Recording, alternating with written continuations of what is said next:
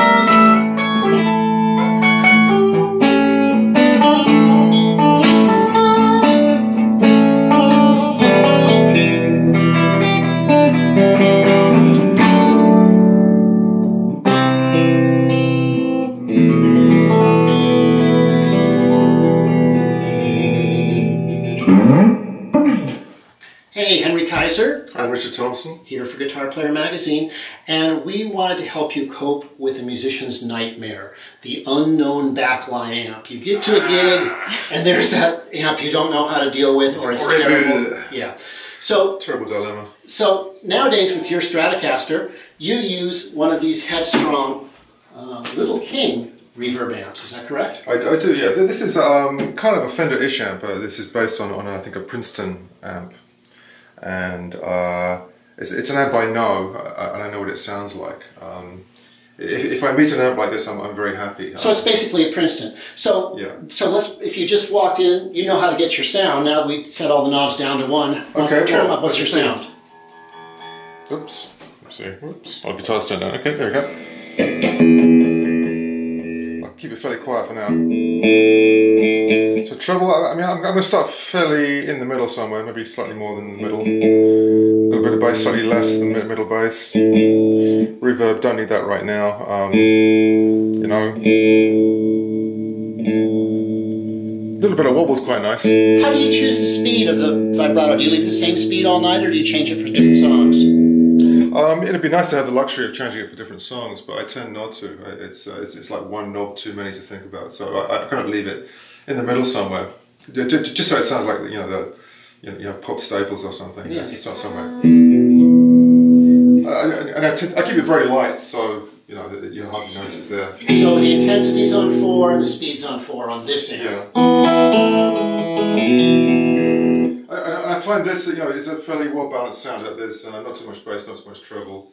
Uh, the, the middle is about right, um, and uh, I, I can get the characteristic sound of this guitar from this amp. Um, and uh, you know, in, in a in a in a rented amp situation, um, where you never know what you're going to get, it, it's nice to find something that's uh, for me that's kind of Fender-ish anyway. Um, some Fenders I can't get on with, like twin reverbs I can't get on with at all. You See, I always ask for twin. Really? Because I turn, I run it on like one and a half, really quiet, Yeah. and I don't use the amp distortion. I just use pedal distortion. Okay. But you yeah. got a little amp coloration, a little speaker coloration. absolutely, yeah. How, absolutely. how much do you turn it up at a gig? Uh, I mean, at a gig, uh, an amp, this, this is a small amp, so this will, this will also be, be mic'd uh, through the PA system. So um, I, would, I would have this fairly, you know, around the middle somewhere.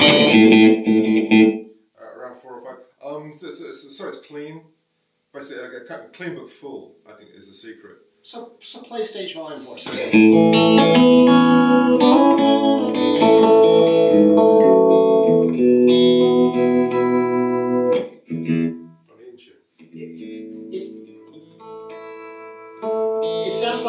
your, sound really comes from your hands and your fingers. Yes. Um, a lot of time comes from the way that you attack the strings. I, I, I use really fairly light strings, uh, and I don't play very hard at all. I, I have a very, very light touch on, on, on the electric guitar. So um, You've got an eight or nine on top, don't you? I do. Yeah, I do. I do. Yeah. So um, you know, I, I mean, if, if I hammered the, the, these these strings, they just sound out of tune and bad. So so, so I, I, I play them very light all the time. Uh, in most situations. yeah. So, for your amp, we got it to sound good. yeah. Let's try a different amp. Okay.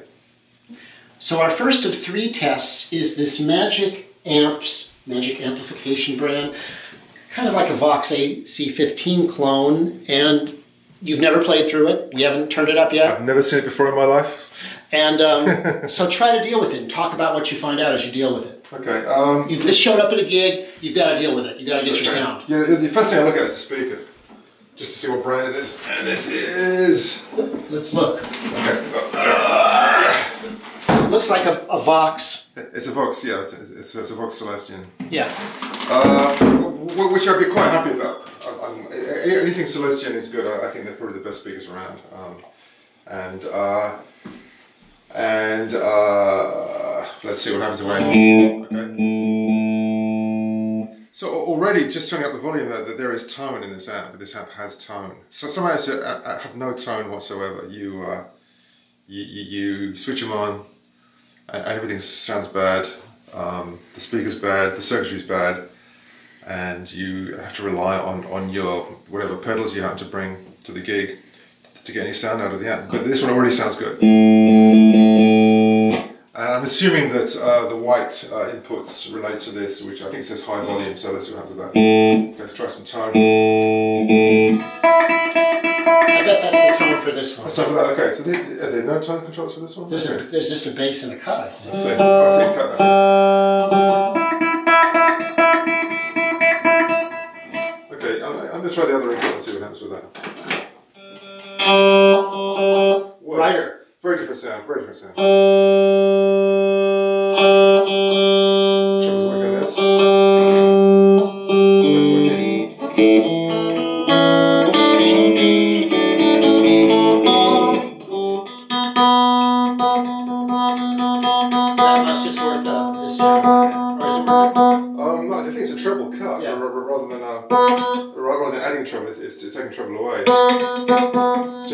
Kind of control the amount of. Um, good idea. This one says ability. Um, I think I'm going to put that on high as possible. Good Oh, idea. that makes such a difference. That's amazing. Wow.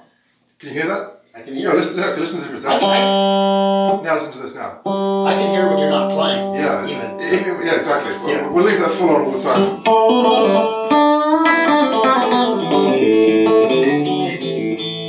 My ability's improved 87% with that So, so you could deal with this amp. I think absolutely. I, I'm just going to try this other input again.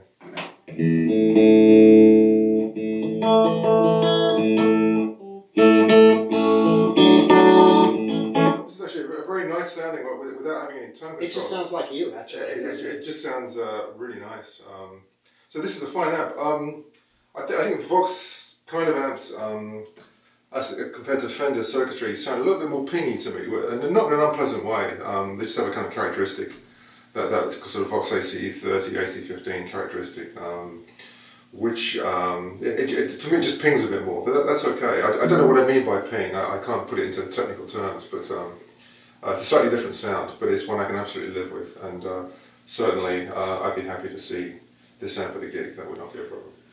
Let's see what's next. Okay. So this amp is kind of your second worst nightmare. The worst is being in, I don't know, Lithuania or Belarusia and getting some amp with broken tubes and glass all over the place. But this is as if you were on a cruise ship off Sumatra and uh, the um, I'm sweating already. and the boiler fa- failed in the ship and you had to go on shore and play a gig in town in Sumatra. And Sumatra, okay. Yeah. yeah. And you walk in and they say, "Here's your amp, Richard." Whoa, what the hell is that? Okay. Okay, never seen one of those before, that's for sure. I'll say what it is later, but try to Okay. deal with it. Okay, let's see. Okay, and running. Let's see if I got in the right input here.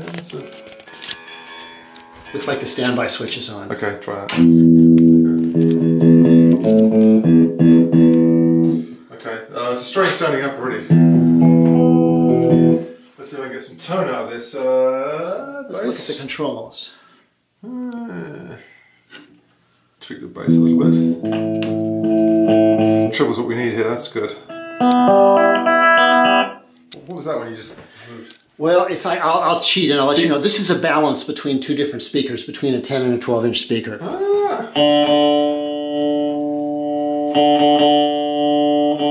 Sounds good in the middle somewhere as a, as a, as a blend. It's a good vibrato channel here.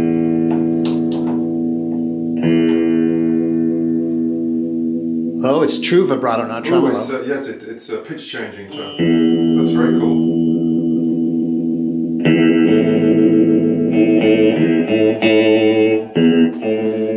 And reverb.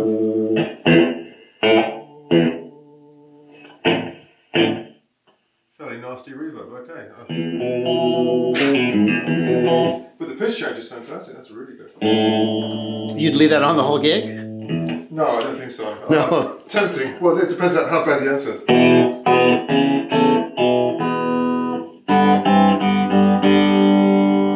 I mean, I can get a kind of a tone out of this amp, but it's it's uh, it's not a great sounding amp for me anyway. sounds a little bit dull. Um, speaker doesn't respond very well. But you could deal with it if you had to. Just you wish you Absolutely, yeah. Um, pedal board and pedals. I mean, if you, if, you, if you're going to overdrive this amp, you, you might want to rely more on um, something you bring with you, like, like- like a you know like a like, like a you know like a distortion pedal or something. If, if you wanted to go go go, go uh, louder, more sustained. Um, I think it doesn't have a lot of sustain to it. So when you adjust the tone controls, what are you looking for? Um, Is it like is it like Goldilocks and the Three Bears? Not too hot, not too cold, yeah, just you're right. looking for tone. Um, I think every guitar has like one good tone, and that, that's what I'm looking for. Uh, every amp probably has one good tone. So if you can find the good guitar tone, mix it with the good amp tone, uh, you can get good tone. But that, that's what you're looking for, I think. Uh, and as you say, I, I mean, um, uh, um, you know, I- I've seen guitar players sort of uh, plug into an unknown amp and just turn everything up to 10, like, like bass, treble, everything, you know, volume, over, you know, everything up to 10. Uh, and that's fine if, if you're just playing flat out. Um, but if, if, you, if you ever play with more nuance, if you're ever playing Dynamics. yeah, the times if, if you're playing with a band where, where you're playing songs, um, and you need to play quieter sometimes, you know, you, you need to have um, tone. And uh, the tone, basically, first of all, it's in your fingers, then, then it's in your instrument, and then, then it's in your amp. Th- th- These are the then it's in your speaker. uh, th- that's in your speaker, yeah. So the speaker is also very, very important. I've no idea what speakers are in here. Probably some, um, some Belarusian or, or uh, Sumatran. Actually, it's a it's an amp an amp that was made in Southern California by this company Universal. They also made amps under the Versatone name, and it was kind of like the high end thing, kind of like a McIntosh stereo thing that uh, Carol Kaye used uh, their bass amp. Jack Wow. Casady used their bass amp for the distorted sound, but their guitar amp.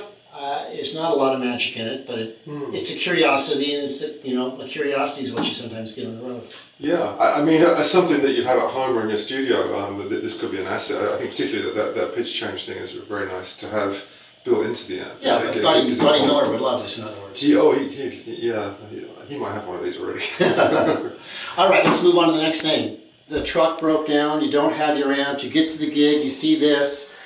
You wonder if Cheap Trick was there the night before.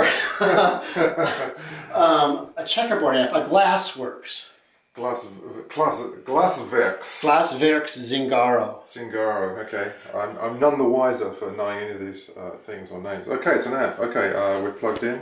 Yeah. Well, once again, I'm, I'm going to just look, quick look at the speaker so I know what I'm dealing with. Oh, it's a Celestion Gold. Okay, that's Let's good see. news. Celestion Gold. Good news. Okay, that's good. I'm happy already. Okay, gain, gain, gain, gain. Master, master, master. There's a presence control. Very interesting. Okay. What are they all say? This, this OD gain, here's overdrive gain. So here's gain. And let me try some tone, grab some treble.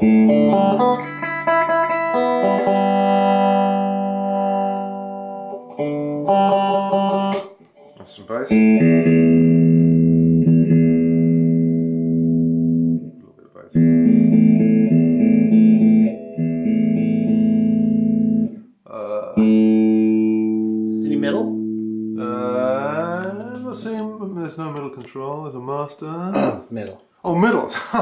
Oh, that middle control. Do you prefer three knobs or two knobs for tone? Um, good question. What? That, mm, yeah, good question. I don't know. I, you know, I'm probably happy with two, but three is fine. Three gives you some more options, I suppose. But uh, I'm, I'm, I'm used to kind of traditional Fender kind of amps that don't really give that, that option. So. There it is. Well, I'll set the middle in the middle. Bit more treble, bit less bass. Don't know what this does. That probably relates to this one. CD gain. No, still doesn't do anything. I, I think this is switchable and we aren't hearing this. We'll just not worry about it. Okay. Master volume.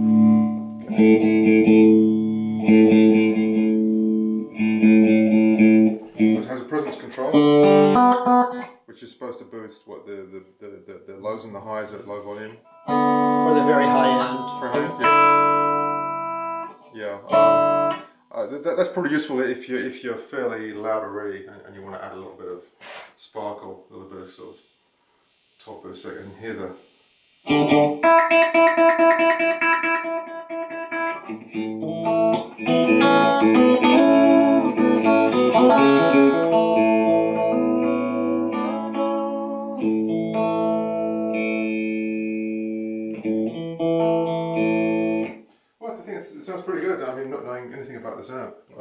So it works. So just to, to let's let's let's let's review what you did. You you basically set it for a reasonable volume and mess with the tone controls. Yeah. Um, I mean, to, to get a basic tone, um, you, you, probably don't crank the amp all the way up. Um, you, you want to set it about halfway or something, or slightly less than halfway. Uh, or set it where it's just under, under distortion so you can actually hear the tone of the amp uh, before you start driving it any harder. So, um, uh, you know, I suppose button number four or something. Um, on, on an amp, what's this one on? This, well, this, this got a gain control in the master, so it's hard to tell where you actually are. But um, it's, um,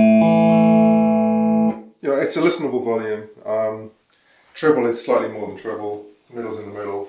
Bass slightly, slightly, slightly rolled off. And that's about it. And um, I think it sounds pretty good. Why don't you play a little bit for us on the fade out here? Mm-hmm.